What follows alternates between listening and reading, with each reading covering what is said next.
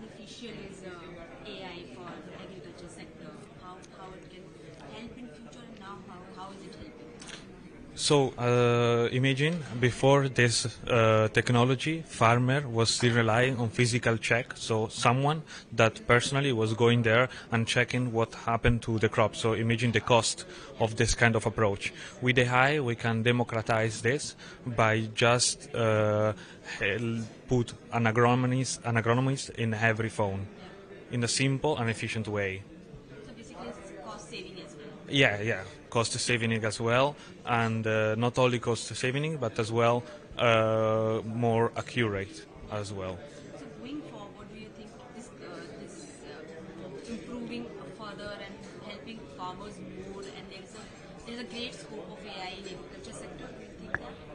Yeah, I think uh, uh, helping farmer and leveraging AI for helping farmer is uh, something important, but AI is going to be useful as well in healthcare, in education, and in all the sector. As we also see in this event, there are so many company and nice people that are building solution for use AI for goods.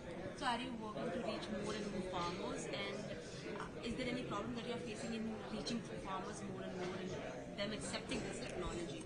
So uh, what we did is not building our own app, but we build an API. It means a simple key that our partner can integrate and then deploy our technology to the farmers that they work with. In this way, we build an AI solution that is simple, more scalable. So uh, do you think that AI can help farmers in tackling the climate, uh, the, the climate, uh, cyclone and tornado or something like that? In future it can help them. Yes, uh, I really believe that AI is going to have a crucial role in the uh, climate uh, uh, crisis. Uh, for example, uh, by saving the crops and understanding which kind of treatment used on a specific crops with our AI, we already do this because imagine they don't have to spread on the plant whatever pesticide or fertilizer uh, to come in their head, but they're gonna spread uh, a pesticide that is good for that plant and in a good quantity. We, with our data, we can already demonstrate a decreasement of 30% on pesticide and fertilizer with the farmer that we work with.